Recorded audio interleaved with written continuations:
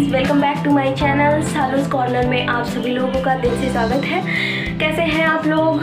तो गर्मी है तो मैं सोच रही हूँ कहीं जाने के लिए तो मैं बाहर जा रही हूँ। Bye bye. अभी मैं आई हूँ अपने घर से थोड़ी दूर पे। यहाँ पे देखिए गार्डन है और बहुत अच्छी हवा चल रही है यहाँ पे। घर में गर्मी लग रही थी तो मैंने सोचा क्यों ना इधर आ जाऊँ। थोड़ा हवा भी मिल जाएगी और अच्छा भी लगता है यहाँ आने पे। देखिए, पीछे तालाब है तो मतलब काफ़ी अच्छा लगता है यहाँ पे। आओ, घूमो और बैठो। कुछ टाइम अपना इंजॉय करो यहाँ पर तो बहुत अच्छा लगता है।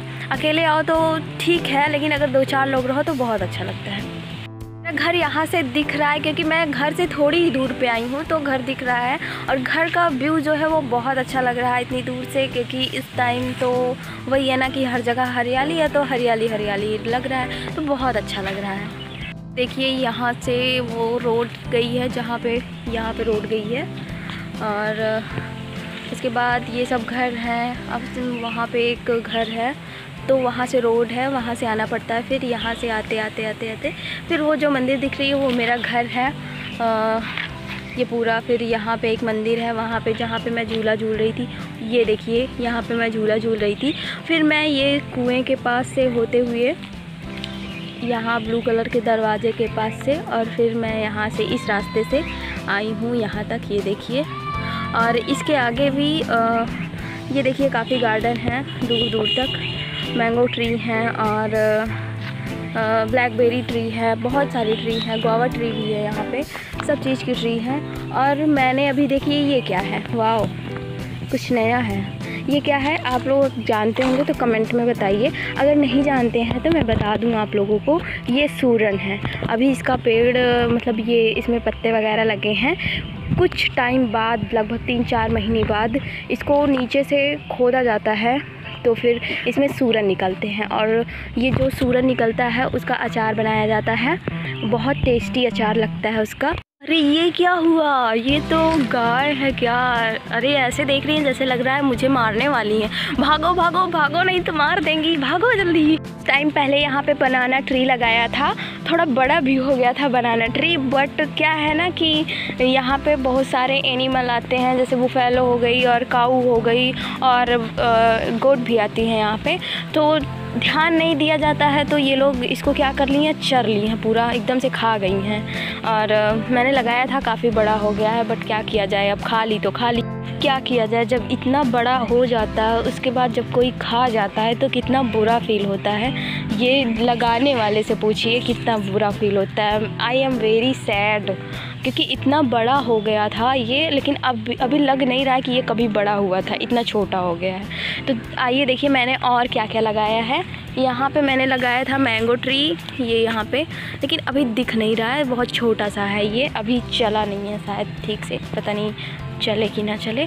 और देखिए यहाँ पे यहाँ पे भी देखिए मैंने पेड़ लगाया था, बट सूख चुका है यहाँ का पेड़। ये देखिए यहाँ पर भी एक पेड़ है, यहाँ पे। ये ये थोड़ा बड़ा है। मैंगो का है। हाँ आई हूँ वहाँ। देखिए, ये बहुत बढ़िया अच्छा नज़ारा दिख रहा है। यहाँ पे ये गहरा तालाब है। बहुत गहरा तालाब है और अच्छा लग रहा है। दोपहर के टाइम में आओ, यहाँ पे बैठो और आराम से इंजॉय करो। वीडियो बनाओ, सब कुछ करो। मैंगो ट्री है। मेरे यहाँ काफ़ी सारे मैंगो के ट्री थे बट अभी क्या है कि चार पाँच बचे हैं, बाकी सब सूख चुके हैं। ये देखिए वन टू थ्री वहाँ पे एक दिख रहा फोर फाइव और पीछे गार्डन है, वो किसी और का है, मेरा नहीं है। मैं आप लोगों को एक न्यू ट्री दिखाने वाली हूँ, और आप लोग गेस नहीं कर सकते हैं कि ये कैसा ट्री है, और मैंने भी पहली बार इसका नेम सुना है। आई होप कि आप लोग भी पहली बार नाम सुनेंगे इसका। जो ओल्ड लोग हैं, वो सुने होंगे इसका नेम इसका नेम है, क्या है? इसका नेम है बालक क्या नेम है? मज़ा आ जाती है सुनने के बाद ट्री में कभी खीरे जो हैं वो निकले नहीं हैं। और ये इतना बड़ा पेड़ है, देखिए, यहाँ से लेके ये इतना बड़ा पेड़ है। तालाब है, आप लोग सोच रहे होंगे, इसमें इतना ज़्यादा पानी कहाँ से आ गया? क्योंकि अब की बार बारिश तो हुई नहीं है ठीक से। तो मैं आप लोगों को बता दूँ कि इस तालाब में पानी कहाँ से आया है? तो वो देखिए, एक ब्लू कलर की पॉलीथीन दिख रही है, पन्नी दिख रही है। तो उसी में से वहाँ पे एक क्या है, ट्यूबवेल है, समरसेबल है, कह सकते हैं। तो वहाँ से पानी को इसमें डाला जाता है, इसीलिए तालाब इतना गहरा हो चुका है। पहले ये तालाब छोटा सा था बट अब धीरे धीरे इसमें पानी ज़्यादा होने के कारण ये तालाब बहुत बड़ा हो चुका है। ये देखिए, यहाँ से लेकर यहाँ तक पूरा कवर हो जा रहा है। धीरे धीरे मुझे लग रहा है ना कि ये पूरी एरिया ही कवर हो जाएगी इस तालाब से। हेलो कौआ uncle how are you hi इधर देखो, इधर इधर इधर। लग रहा है कि कौआ अंकल जी बुरा मान गए कोई बात नहीं, मैं नेक्स्ट टाइम उनसे ज़रूर मिलूँगी। तो गाइज़ मैं यहाँ पर थी बट मुझे ये दिखा नहीं क्योंकि मेरे ही खेत में जो है वो ये काऊ आके चर रही हैं। यहाँ पे घास खा रही, घास नहीं, चरी खा रही हैं। तो मैंने नोटिस नहीं किया इन लोगों को। तो अभी मेरे घर से एक लोग आए हैं। मेरे घर से नहीं, मेरे बगल के एक लोग आए हैं। वो इन लोगों को बाहर निकाल रहे हैं। काफ़ी टाइम हो गया है यहाँ आए हुए तो अब मैं जा रही हूँ घर क्योंकि कल है रक्षाबंधन तो बनाना है स्वीट बनाना है स्वीट इसीलिए मैं जा रही हूँ अपने घर क्योंकि स्वीट बनाने में भी काफ़ी टाइम लगेगा और टाइम भी हो गया है। So bye bye so guys मैं अभी आ चुकी हूँ अपने घर और मैं जा रही हूँ गुलाब जामुन बनाने। आ, मैं इसकी रेसिपी आप लोगों के साथ ज़रूर शेयर करूँगी।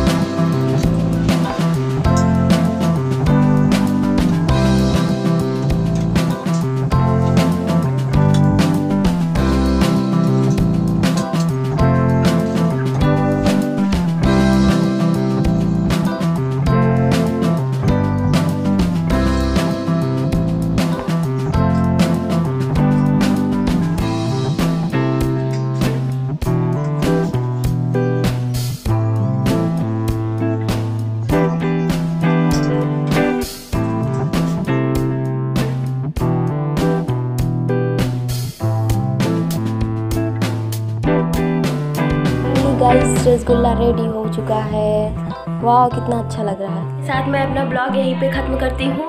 आई होप कि आप लोगों को मेरा ब्लॉग बहुत अच्छा लगा होगा, मेरा वीडियो बहुत अच्छा लगा होगा। अगर मेरा वीडियो अच्छा लगा हो तो प्लीज़ चैनल को सब्सक्राइब कीजिएगा लाइक कीजिएगा शेयर कीजिएगा और कमेंट करना ना भूलिएगा। Bye bye